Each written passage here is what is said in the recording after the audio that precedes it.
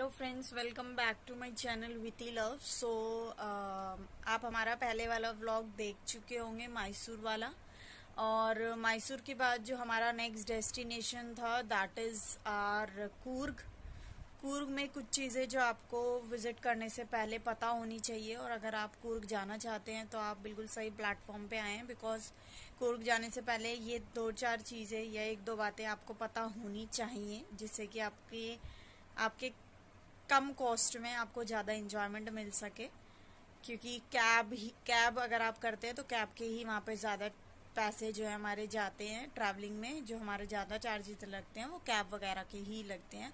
क्योंकि दो दो तीन तीन चार चार हज़ार सिर्फ़ कैब का ही होता है हमारा चार्जेस सो so, हमने जो मैसूर से नेक्स्ट डेस्टिनेशन था हमारा कूर्ग था बट मेक श्योर कि अगर आप मैसूर से कूर्ग जा रहे हो तो इन दोनों के बीच में एक जगह पड़ती है that is Kushalnagar basically जिसको कूर्ग के और मैसूर मैसूर के तो नहीं बोलूँगी मैं, लेकिन कूर्ग की टूरिस्ट प्लेसेस में लिस्ट में आप देखते हो, अगर अगर आप गूगल पे सर्च करते हो. बट हम गूगल पे जब सर्च करते हैं तो यूजुअली हमको ऐसे समझ आता नहीं है. जो जाता है वहाँ पे और जो ठोकर खाता है, उसको ज़्यादा अच्छे से समझ आता है। तो जब हम मैसूर से कूर्ग आ रहे थे तो हम थोड़ा लेट निकले थे, जिस वजह से जो हमारा एलिफेंट कैंप का टाइमिंग था, वो ख़त्म हो चुका था और इस वजह से हम वहाँ विज़िट नहीं कर पाए थे। बट हाँ कैब वाले ने हमसे कहा कि मैं नेक्स्ट डे आपको लेके जाऊँगा, जो कि हमें बाद में ही मुझे ये पता चला कि कुशन नगर तो एग्जैक्टली वही जगह है जहाँ से हम निकल के आए थे और ये वापस हमें वहाँ पे एक डेढ़ घंटे का लेके जाएँगे और उसके लिए वो हमसे टू थाउज़ेंड रुपीज़ चार्ज कर रहे थे जो कि हमने मना कर दिया था क्योंकि एलिफेंट कैंपिंग वगैरह हम ऑलरेडी केरल में कर चुके थे और अगर आपने हमारा केरल वाला व्लॉग ना देखा हो तो आप विज़िट कर सकते हैं क्योंकि केरल वाले व्लॉग में भी आपको बहुत सारी प्लेसेस भी देखने को मिलेंगी जो आ, हमने पैकेज लिया था उस टाइम बट इस टाइम हमने कोई पैकेज वगैरह नहीं लिया था हमने अपना ही खुद गूगल वगैरह करके जो भी चीज़ें थी वो सर्च आउट की थी. तो बेसिकली कूर्ग में दो मेजर प्लेसेस होती है। एक होती है मध्यकरी और एक आती है आपकी कुशल नगर में। कुशल नगर में आपका एक गोल्डन टेंपल आता है। मोनिस्ट्री मोनिस्ट्री और गोल्डन टेंपल एक ही जगह है। बस उसको नाम अलग अलग दे दिया।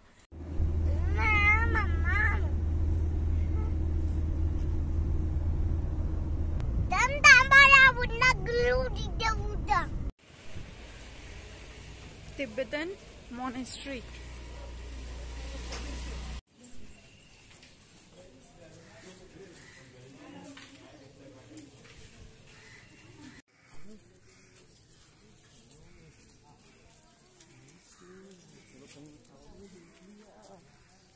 तिब्बतियन ये तिब्बतियन मोनेस्ट्री है जो इंदिरा गांधी ने यहाँ पर प्लेस इनको अलॉट किया था। इनके पास यहाँ की रेजिडेंसशिप सिटीजनशिप नहीं है। इनको यहाँ पे जब वॉर वॉर हुई थी उसके बाद स्पेस दिया गया था। दिन हमने विज़िट किया था वहाँ पर एक प्रेयर हो रही थी जो कि पाँच दिन तक चलती है और जो साल में सिर्फ़ एक बार होती है तो लग शायद अच्छा था। और हो सकता है कि आप भी उसी टाइम कभी विज़िट करो तो अच्छा लगता है। बट हाँ उस टाइम थोड़ा सा रश होता है। रश इन अ सेंस कि उनकी प्रेयर चल रही होती है तो आप अंदर एंटर नहीं कर सकते। बाहर से ही आप वो चीज़ टेंपल और वो मोनिस्ट्री देख सकते हो। तीसरी जो प्लेस है, आपकी दोबारा एलिफेंट कैंप है, जिसमें एलिफेंट को बाथिंग फीडिंग और जंगल सफारी टाइप आप बोल सकते हैं। उसके बाद आपका नेक्स्ट आता है निशरा निशगरधामा करके एक जगह है। वहाँ पर आपकी हैंगिंग ब्रिज है। ये हैंगिंग ब्रिज की एंट्री के बाद है। Bird sanctuary and deer park where are the deers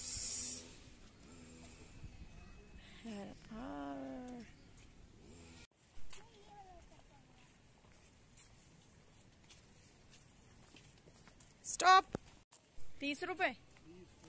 Twenty rupees for the entry of हाँ ये सिटिंग के लिए सिटिंग करने के लिए। For the entry of hanging bridge charges is twenty rupees per person और जो वो पीछे बर्ड पार्क है आई थिंक अब विजिबल नहीं होगा। बर्ड पार्क है, उसमें भी डिफरेंट चार्जेस है एंट्री करने के लिए, जिसमें आप बर्ड्स को फ़ीड करा सकते हो, अपने हैंड पे कैच करके पिक्चर क्लिक कर सकते हो एंड ऑल दैट सो वो एक्टिविटी हमने नहीं की बिकॉज़ हम ऑलरेडी आज बहुत लेट हो गए हैं और हमें कूर्ग के मेजर प्लेसेस को कवर करना है that's why so stay tuned